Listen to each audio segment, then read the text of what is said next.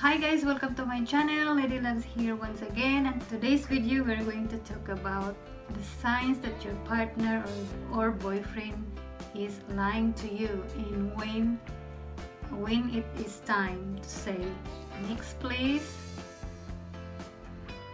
and um, yeah so these are the signs that that uh, your partner or your boyfriend is lying to you so the first sign is being defensive. Become angry and get defensive when you ask question about his work. It's clear sign that he has something to hide from you. He feels like questioning him is like accusing him. Number two blaming you. Every time you ask question, he feels he, he's being attacked and being judged. Every time you want to find out what's going on, he blames you or question your motive why you want to know. He attempts to avoid talking about the subject. Number three, notice his body language. This is very important guys because the lips can lie but the body can't.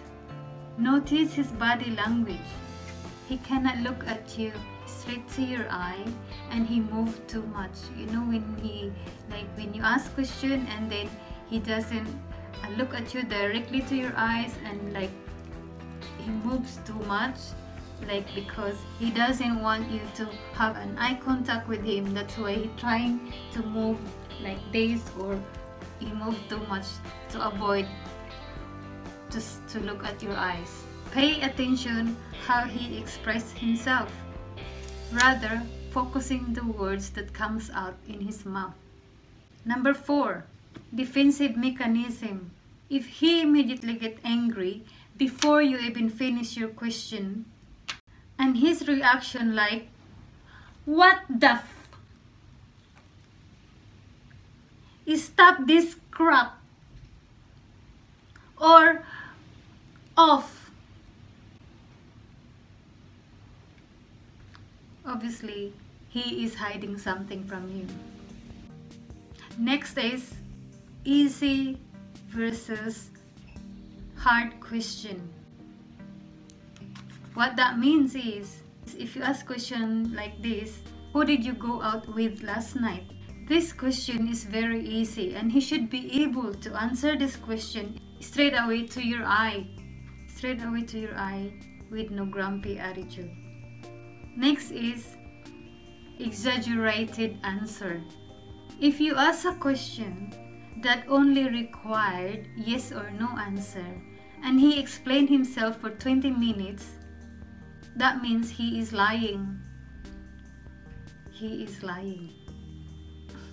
Trust your intuition. God gave us strong intuition for a reason. We don't need a solid proof to end like women like this well i think i have this feeling but i don't have a proof so don't play yourself girl. God gave us strong intuition. You don't need solid proof. Look how he treat you. Look how you feel in the relationship. Does he make you feel special? Does he make you feel that you are wanted? Does he make you feel that he wants to be with you forever?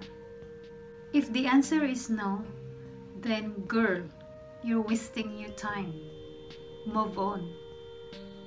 But before to move on to the next relationship, you should evaluate yourself first.